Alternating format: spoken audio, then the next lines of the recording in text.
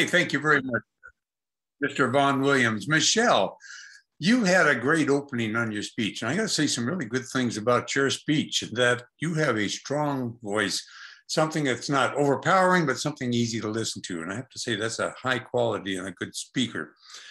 I liked your opening because it got us into the idea of uh, you're going to talk a little bit about your life. And, and I like the idea of your, I don't know if you said you were an angel or act like an angel or you're called an angel, but that stuck in my mind.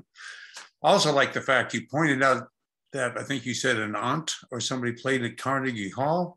I'm very impressed with that. Reminds me of the days in the Portland Symphony when James DePriest was the director and um, dang it, I can't think of his wife's name, was a famous uh, soprano that sang.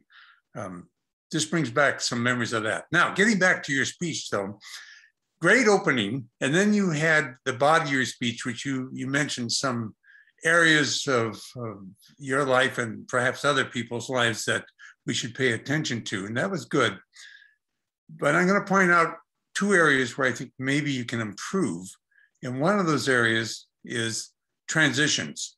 Making a transition from the opening, which was really great, to your body of your speech, you might suggest that we all have stories in our lives. And here are some of the stories I am going to tell you and then go into your stories. And at the conclusion, refer back to your beginning and saying something like, we all have had high points in our lives, and I feel like now that I am living in Colorado, much higher elevation, I feel I'm closer to being an angel.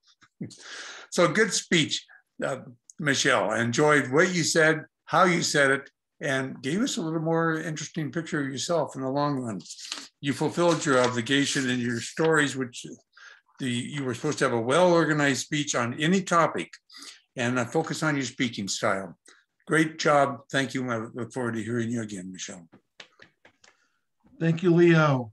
And to evaluate Mila is Sterling.